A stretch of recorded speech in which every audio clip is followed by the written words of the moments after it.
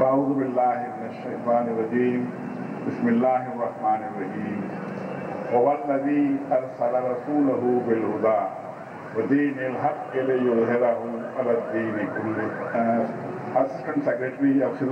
Welfare society जनाब doctor Saiyad Alam साहब coordinator of Khidmat welfare society ये मेरे अज़ीज़ दीनी भाई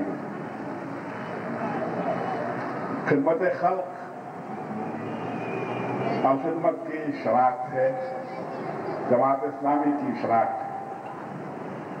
और खिदमत वेलफेयर सोसाइटी इस शहर के अंदर गुज्त तकरीबन तेरह साल से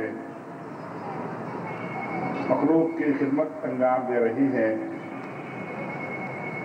पूरे शहर के अंदर स्कूलों का जाल है, अस्पताल खिदमत खल्क।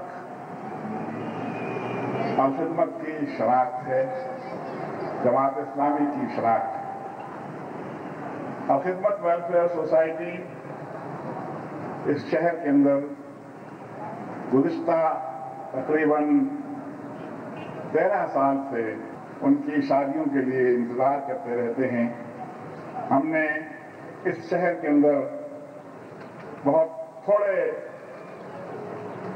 हमारा रकम से काम शुरू किया था उन्नीस सौ सैतालीस के अंदर। शोबा खिदमत खत के नाम से। और अल्लाह का शुक्र है कि आज सन 2000 के अंदर अलखदमत वेलफेयर सोसाइटी की कुल आमदनी 11 करोड़ छियानवे लाख है। जो गुजशत साल उन्नीस सौ निन्यानवे की आमदनी से तकरीबन छह करोड़ रुपए ज़्यादा है। अलखदमत वेलफेयर सोसाइटी कराची के अंदर जो खिदमत अंजाम दे रही है। मीडिया के अंदर भी अखबार के अंदर भी इसका चर्चा होता है। और उसकी बुनियाद पर अलखदमत वेलफेयर सोसाइटी सिर्फ़ पाकिस्तान के अंदर, कराची के अंदर नहीं, पाकिस्तान के अंदर नहीं, बल्कि पूरी दुनिया के अंदर एक मारूफ रिफाही इदारा बन चुका है। हमने उन्नीस सौ सत्तानवे के अंदर हरनाई में जब दलदला आया तो आखिरपत वेलफेयर सोसाइटी के कारकुनान यहाँ से सामान लेकर हरनाई गए। उसके बाद तुरबत और गवादर में जब सैलाब आया तो आखिदमत वेलफेयर सोसाइटी के कारकुनान सामान लेकर वहाँ गए। जब ठट्ठा और मदीन में समुद्री तूफ़ान आया तो कारकुनान वहाँ गए। थरपाकर में जब कुछ साली हुई तो हमारे कारकुनान वहाँ गए। इस तरह अलखदमत वेलफेयर सोसाइटी पूरी दुनिया के अंदर हमारे उसका के सर्किल के अंदर भी, उसके अलावा भी एक मारूफ रिफाही इदारा बन चुका है। और इसीलिए ये इस साल सन दो हज़ार के अंदर कराची की आमदनी बशमूल दर ताउन जो मदारस से मिलता है और तिब्बी इदारों से मिलता है, मस्जिद गाड़ियों से मिलता है। हमारी कुल आमदनी कराची की सिर्फ़ तकरीबन तीन करोड़ तीस लाख रुपए हुई। तीन करोड़ तीस लाख रुपए आमदनी कराची के ही तमाम इदारों पर जो हमने भी गिनाए हैं आपके सामने, उन पर खर्च किए गए।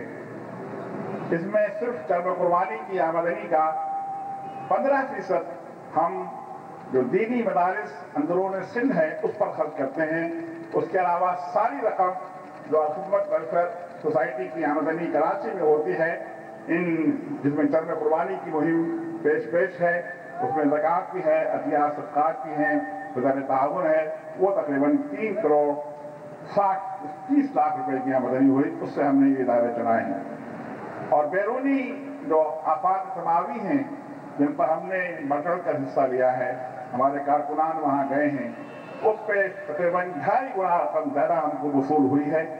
और जो रकम जिस मत के अंदर वसूल होती है अलखदमत वेलफेयर सोसाइटी, वो रकम उसी मत पर खर्च करती है।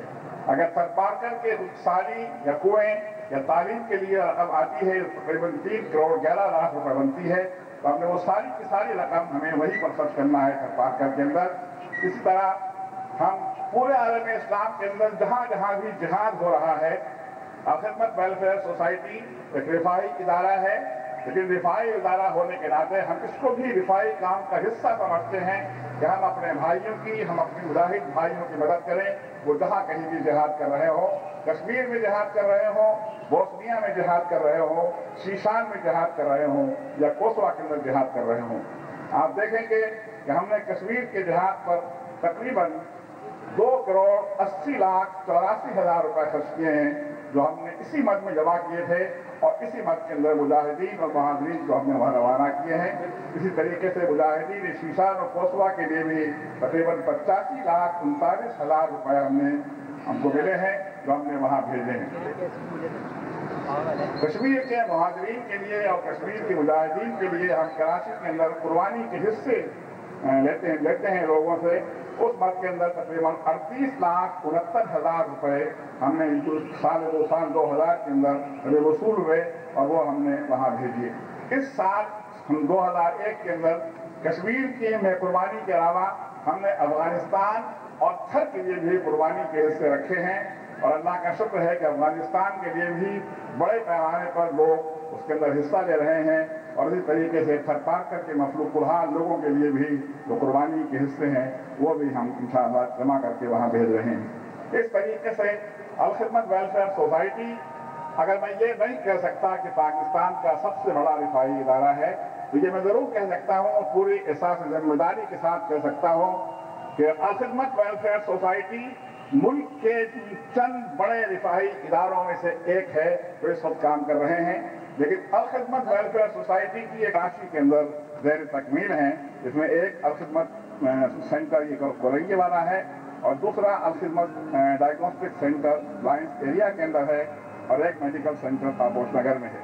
हमें उम्मीद है इन ताला हमारे कारकुनान जिस जोश, जिस जज्बे और जिस हौसले के साथ चरम कुर्बानी की मुहिम के अंदर हिस्सा लेते हैं इसलिए कि चरम कुर्बानी की आमदनी ही बड़ी आमदनी है हमारे लिए इन कामों को करने के लिए। इंशाल्लाह इस साल भी जो कल से शुरू, परसों से शुरू हो रहा है, हमारे कारकुनान तैयारी कर चुके हैं और इंशाल्लाह मैदान के अंदर वो उतरे हुए हैं और मैदान के अंदर वो तमाम इदारों के साथ साथ इंशाल्लाह अलखदमत वेलफेयर सोसाइटी के लिए जो खाले जमा करेंगे इंशाल्लाह उसकी आमदनी गुजशत साल सन दो हज़ार के अंदर एक करोड़ चौंतीस लाख थी और मैं अल्लाह पर भरोसा करते हुए ये बात आपके सामने रख रहा हूँ कि इन ताला 2001 के अंदर चरम कुर्बानी की अलखदमत वेलफेयर सोसाइटी की आमदनी इन सुम्मा इन दो करोड़ रुपए से ज़्यादा हो मुझे उम्मीद है इंशाल्लाह कि ये मेडिकल सेंटर इसमें जो कुछ भी कमी है, हमारा साथ, हमारे ताजिर भाई, हमारे सनतकार भाई, जो मुखैर भी हैं, हमारी मुआवजत करते रहते हैं और हमें ये कहने में कोई पसो पेश नहीं है कि खिदमत वेलफेयर सोसाइटी का बहुत सारा काम इन्हीं मुआवनी और मुखैर ताजर और सनतकार हजरात से चलता है। हमें यकीन है इन ताला, इस मेडिकल सेंटर की तकमील के अंदर भी हमारे ताजिर भाई, हमारे सनतकार भाई, हमारे साथ भरपूर ताउन करेंगे और इन वक्त से पहले, जिस तरह वक्त से पहले इस मेडिकल सेंटर का अफ्ताह हो रहा है, इसलिए कि हमें ये उम्मीद नहीं थी कि अलखदमत वेलफेयर सेंटर जो तो मेडिकल सेंटर जो तो कोरंगी में खोल रहे हैं, इसका अफ्ताह इतनी जल्दी में कुर्बानी की मुहिम से पहले हो जाएगा। लेकिन ये अल्लाह ताला का फजल है और हमारे कारकुनान, बिन कासिम के कारकुनान और बिन कासिम के अमीर, जनाब असलम मुजाहिद साहब की तगोदो है, उनकी मेहनत है, उनकी काविश है कि हम इस मेडिकल सेंटर का अफ्ताह वक्त से बहुत पहले कर रहे हैं और इन ताला ये मेडिकल सेंटर वक्त से बहुत पहले तकमीली मराहल भी तय कर देगा और यहाँ पर इन ताला जिसका इशारा डॉक्टर फैयाज साहब ने किया है एक्सरे प्लांट का इशारा, यहाँ पर डेंटल क्लिनिक का इशारा इंशाल्लाह, वो सारी चीज़ें मुकम्मल होंगी और ये मेडिकल सेंटर कराची के अंदर एक मिसाली मेडिकल सेंटर की हैसियत से आवाम के सामने रहेगा। हमारे वही ये इदारे, हम कोशिश करते हैं ऐसे बस्तियों के अंदर कायम किए जाएँ, जिन बस्तियों को इनकी ज़रूरत है, जहाँ middle class lower middle class या लोअर क्लास के लोग रहते हैं, जो बेचारे सरकारी अस्पतालों के अंदर दवाएँ ही नहीं मिलती हैं। जहाँ सरकारी स्कूलों के अंदर दाखिले मिलते हैं तो वहाँ पढ़ाई नहीं होती है। प्राइवेट स्कूलों के अंदर उनकी फीसें जो है, उनकी पहुँच से बाहर होती हैं। इन्हीं शोबों के अंदर हम अपने भाइयों की मदद करते हैं। तालीम का शोबा है, सेहत का शोबा है, और उन बेवा यदि उनके वालदेन या वो खुद सरप्रस्त उनके उनके लिए किफारत नहीं कर पाते। अलखदमत उनकी किफारत करता है। वाखरुदावाना अलहमदिल्ला रबालमी